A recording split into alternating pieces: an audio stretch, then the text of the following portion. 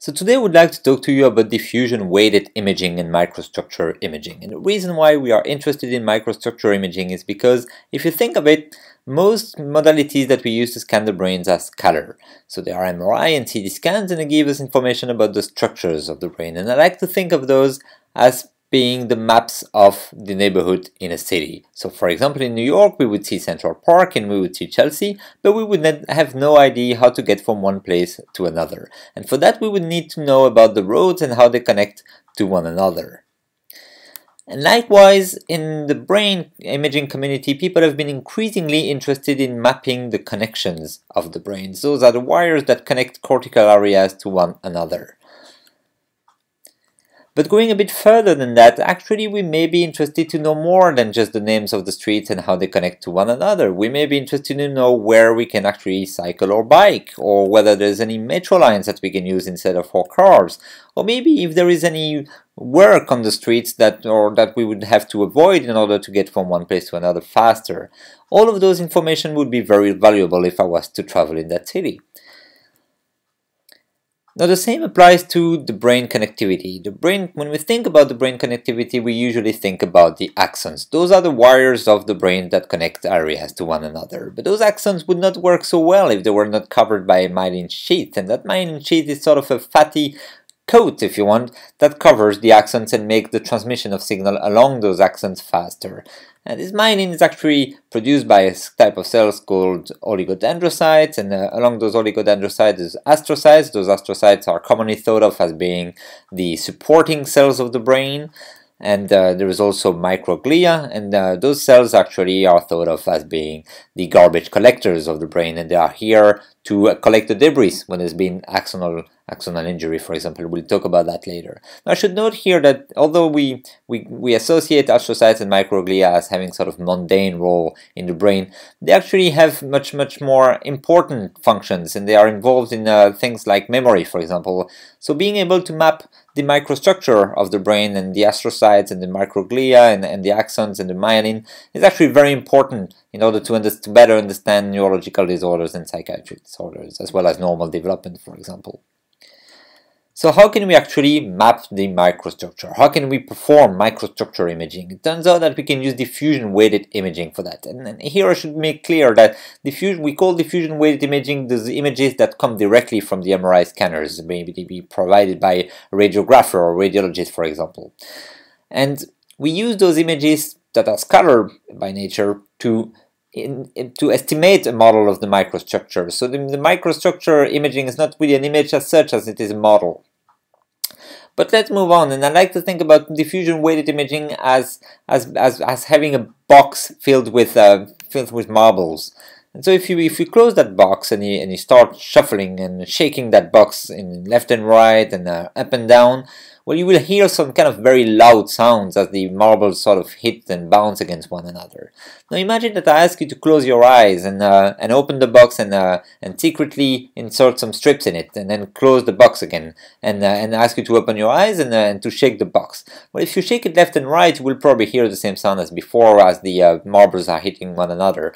But if you start shaking it up and down, you will hear some kind of dull sound, as as the uh, the the marbles can't actually can't actually cross those those strips that I that I that I inserted. So the interesting the interesting thing here is that even though you didn't know that I inserted those those uh, strips, you can have some information about them just by listening to the sound that the box makes when you shake it left and right and up and down. Now it could be a bit more tricky, and I could insert some more complex uh, structure, like such as a cup, for example, somewhere, and then some bending strips maybe and, uh, and and hand it back to you and then you you may want to shake it in many different directions and maybe a bit harder for you to, to figure out what's in the box but I'm pretty sure that you will be able to figure it out in the end maybe using math or computer for example no, we don't really have, and uh, quite fortunately, I guess, uh, marbles in our head, but we do have a lot of water molecules, and those water molecules don't have to be shaken to move, they move all the time. And they are absolutely everywhere, and when I say everywhere, I literally mean it. They are in the cells, outside the cells, in all of the cells, they are circulating, they are moving all the time, they are everywhere. And now imagine that I open your brain and I start painting the um, the water molecules one by one in your brain. Now I don't do that randomly. I do that in a very specific pattern, uh, which follows uh, what we would call an encoding orientation of left to right. So I, I color the left one uh, blue and the right one red, and then everything in between in between blue and red. Now if I let those water molecules diffuse and if they are in a region of the brain where they can diffuse really freely and I open your brain a little a little a little later uh, then I would I would probably see that I have lost the pattern. There's going to be water molecules that are red that are on the left and water molecules that are right that are blue that are on the right. And so that indicates that the water molecules were actually indeed able to diffuse in that direction. Now imagine that I'm actually um, uh, in an area of the brain where the water molecules are, are sort of restricted and they can't really diffuse left and right because there are some strips or some axons maybe uh, that prevent them from moving. If I do that and if I let them diffuse for a while, then I, and if I open the brain again and look at the color of the water molecules that I see, I would see that the pattern is not altered so much as it was before.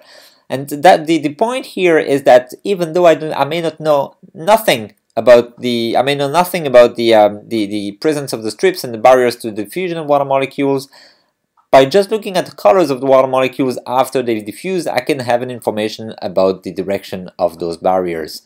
And so the opposite uh, situation to the to the one before is if the uh, the uh, the strips were actually parallel to the encoding orientation, and in that case, if I was to let the water molecules diffuse, I would again lose the pattern of the colors. And so the important message here is that if the water molecules are free to move, uh, then I lose the pattern. If they're not free to move, then I don't lose the pattern. That's exactly what's happening in diffusion weighted imaging. So of course the uh, water molecules don't really have a color and it would be painful and uh, probably take a lifetime to color them one by one. But what they do have however is a precession and so it's kind of a fancy name and you don't need to know much about it if you want to understand microstructure imaging. The only thing you really want to know is that this is a magnetic property of the protons of the uh, water molecules and those can be uh, altered by um, by the magnet in the MRI.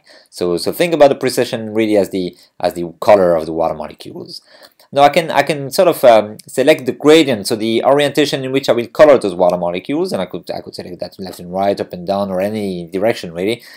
Uh, and then there's other things that I can, the other choices that I can make when I acquire my diffusion weighted images, uh, such as how long time I leave the water molecules to diffuse before I open the brain to see their color or or what's the uh, what's the spatial frequency I use for the uh, color change? So should I color the, uh, the one molecule blue and then the next one directly red, or should I should I color the next one maybe uh, light blue and then and then light yellow and then orange and progressively to red? So those are properties that I I need to uh, to to decide upon as well. Uh, but one good thing about uh, microstructure imaging, and in most models, uh, actually the, the, majority of models that we use so far, uh, all of those properties can be summarized into a single B value that sort of summarizes this time of diffusion of water molecules and the gradient strength, etc., etc.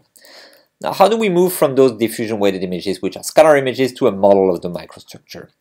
Well, it turns out that if I know the microstructure, and if I know the b-value, and if I know the gradient orientation, then I can tell, or I can I can model, and I can I can estimate or, or predict what the signal is going to be. That is like predicting the sound that the box is going to make if I know what's in the box.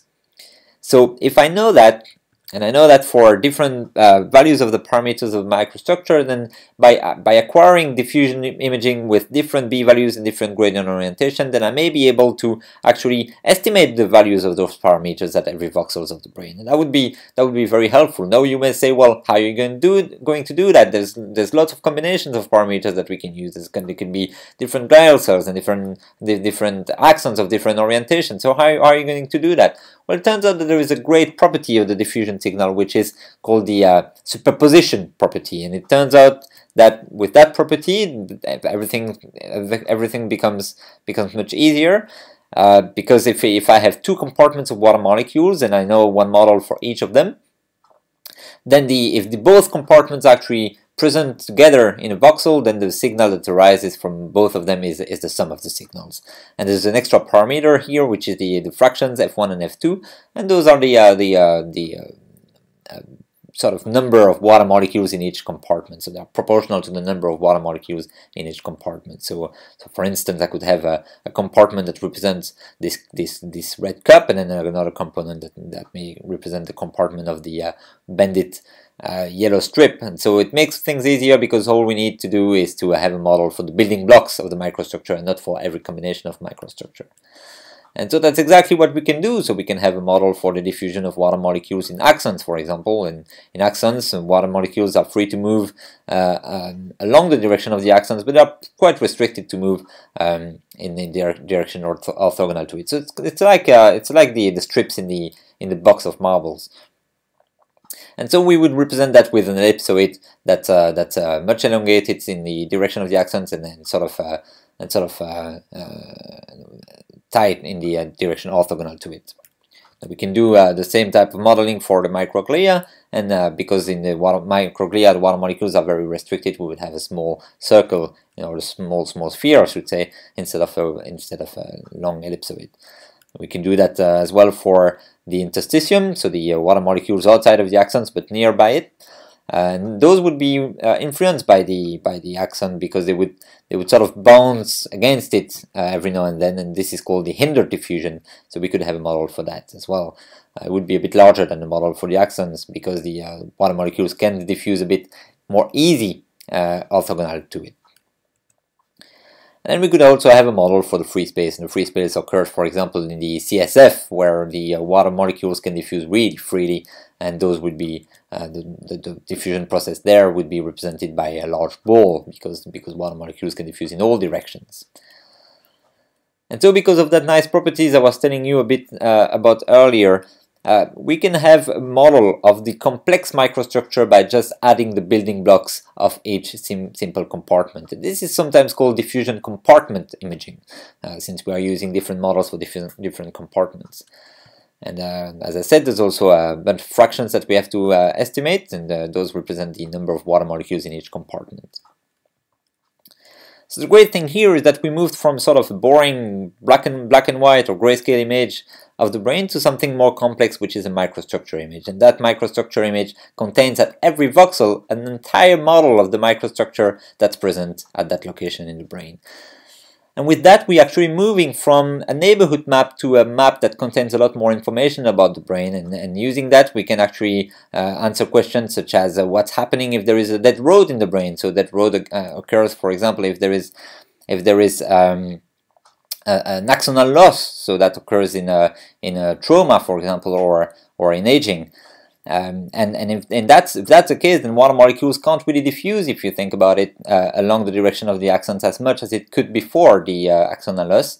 And there's also more microglia because, as I said before, the microglia is uh, is the garbage collector. So there's going to be lots of garbage to collect here because the uh, the axon is lost, and so there's lots of uh, cell debris.